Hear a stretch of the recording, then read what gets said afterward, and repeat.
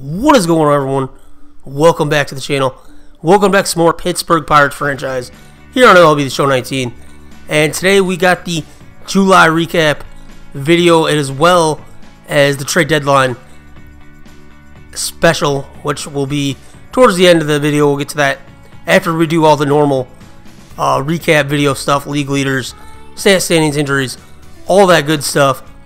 And uh, last video I asked you guys you know, let me know in the comments if you thought we were buyers or sellers at the deadline because we were three games over 500.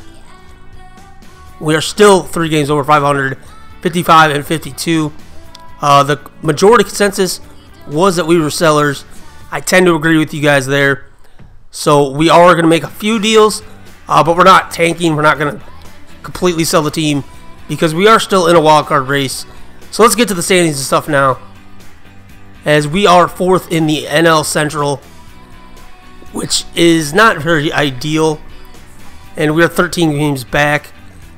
So it's not looking like we're going to be winning the division, especially with two teams ahead of us who are also going for wild cards.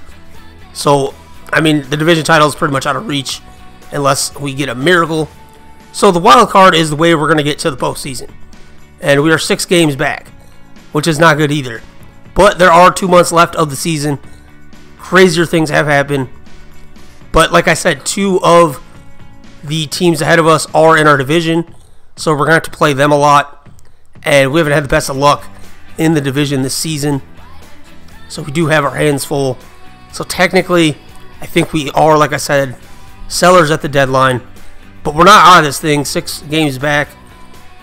You know, so we're not going to sell the entire farm and blow it up. But I think we can make a couple deals that could bring in some prospects that won't hurt our team too much. Um, that I think will make the deals. And like I said, we'll get into that here in a little bit later on in the video. But it's going to be a tough task either way because the Cardinals, Cubs, you know, Dodgers are a really good team, Phillies are a really good team. And I don't know, but we're gonna just ride this thing out. We're not gonna give up. Um, we'll see what happens, but you know, it's not promising. We'll just go with that. So let's take a look at the league leaders. And Josh Bell, currently tied fourth in doubles with 26 on the season. He's continuing to have a very nice season. Corey Dickerson, right behind him there, seventh with 25. He continues to have a pretty hot season. Average dipped a little bit, but he's still getting them uh, extra base hits. And then Kevin Newman, 10th in triples. Again, he's on the team pretty much for his defense, but he's starting to swing bat a little bit better. And then Corey Dickerson, Starling Marte, also make the list with four triples. Go to home runs. Young Ho Kang, still up there, 24.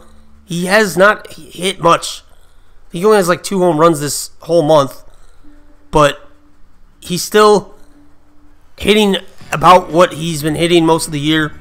So he's still doing productive, just kind of been quieter. And then Dickerson in the RBI, 70 RBIs on the season. Good for 11th in the NL.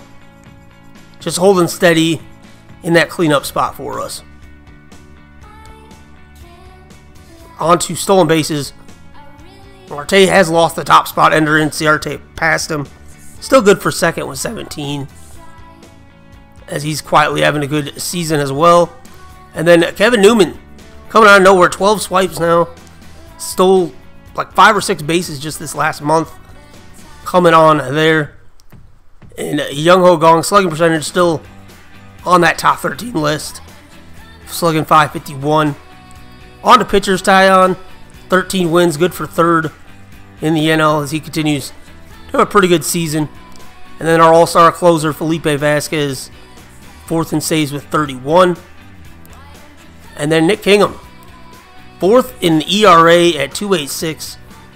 Our number five starter, easily the quiet, underrated pitcher of the year for us. Trevor Williams, though, finds himself on the list as well. 3.20 ERA, 13 in the NL. Our pitching staff as a whole, aside from maybe Musgrove is are really, really doing the thing this year. Jameson Taillon strikeouts 129, good for fifth place. Also innings pitched is good for fifth, 139. So he's keeping his strikeouts right about the same as his innings pitched. And then Nick Kingham still up there in whip, 122 good for 10th. Let's take a look at the player stats a little more in depth.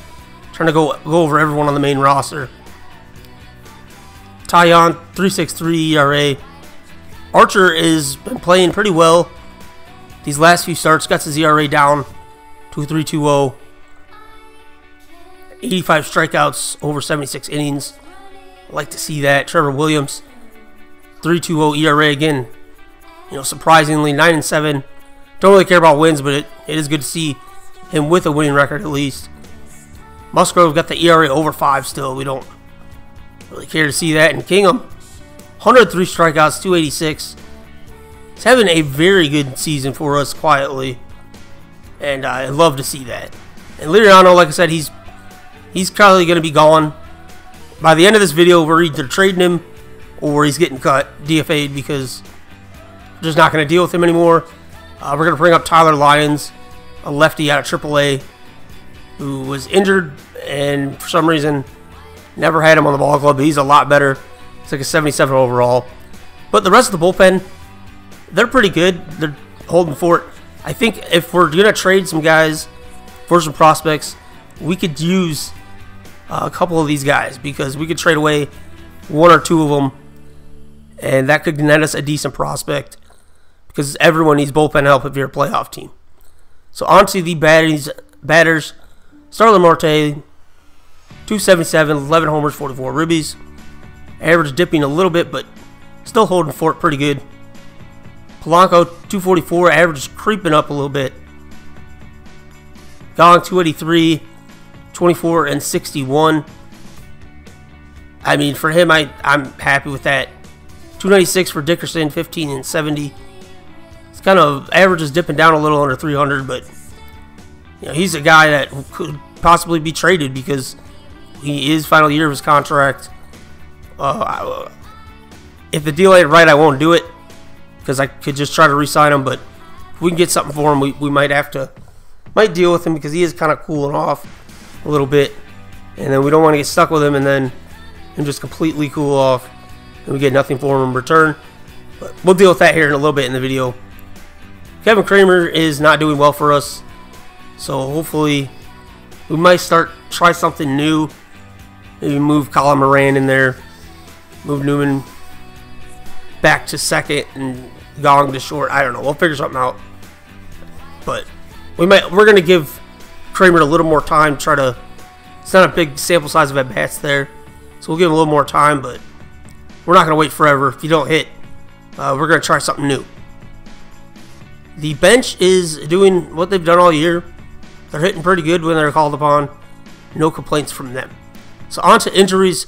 Adam Frazier still has about you know three or four weeks left on the DL before we get him back, which then we won't need Kramer anyway. But the rest of the guys that are going to be coming off the DL here in the next few days, Cervelli actually comes off after I sim through the deadline.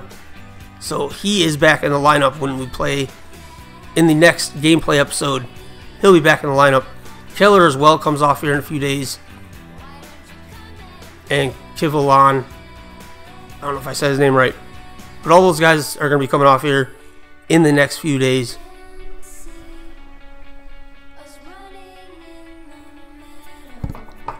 So on to the trades. Here's the first one we made. Corey Dickerson, I mentioned uh, earlier.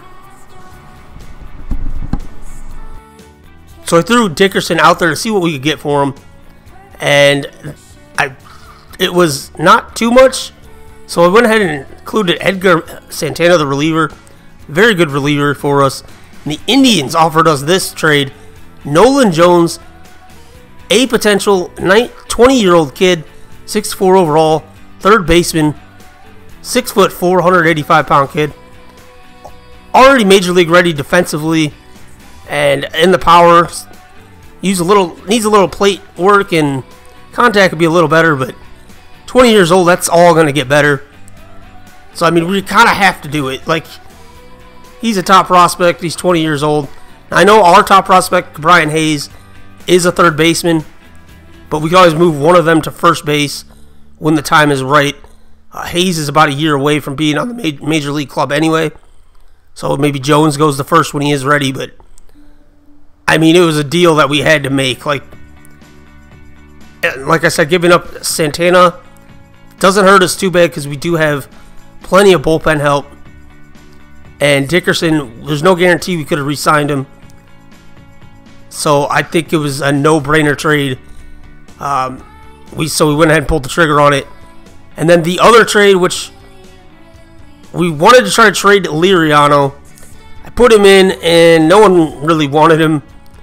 So I added him and Travis Swaggerty, center fielder, who obviously we don't need. Pretty decent center field prospect, but we don't need him because we have Marte's locked up for like six years. He's not going anywhere. So we threw him in there with Liriano. And the A's offered us Jorge Mateo, 23 years old, B potential, 71 overall. I mean, I felt bad because I thought I was still kind of ripping him off. So I threw in another outfielder, Calvin Mitchell, B potential. Well, actually, he's a C potential outfield prospect, but he is only 20 years old, so he can get better. But Jorge Mateo, MLB ready, pretty much for the most part. He's never going to be the best hitter, but he's a good defensive shortstop.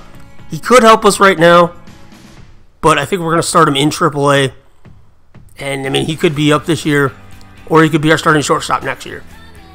But I looked at our shortstop depth, and Cole Tucker, yeah, he is our top prospect at that position, but he's already same age as Mateo and nowhere near ready.